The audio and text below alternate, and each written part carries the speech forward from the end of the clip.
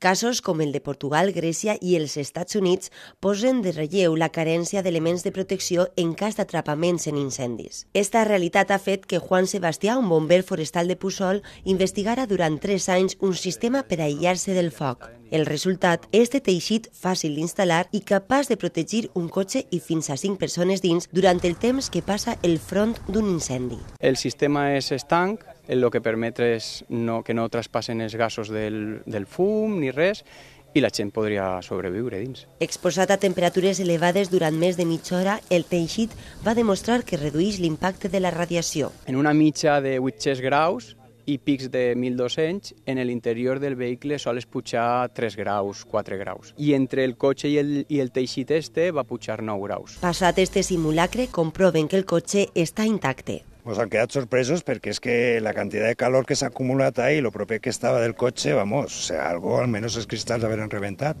Absolutament res, increïble. El teixit està pensat per als professionals que treballen en l'extinció d'incendis, però també pot servir per a particulars que viuen a les zones de muntanya. El sistema encara està en fase de valoració, però de moment va superant les proves.